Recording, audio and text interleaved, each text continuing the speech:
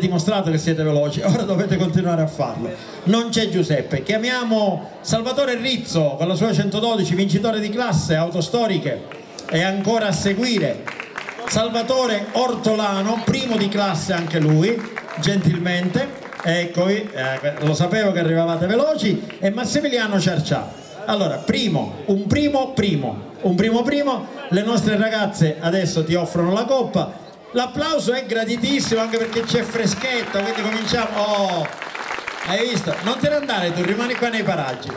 Salvatore, eh, Giuseppe, entra pure tu sul gradino più alto, tu già...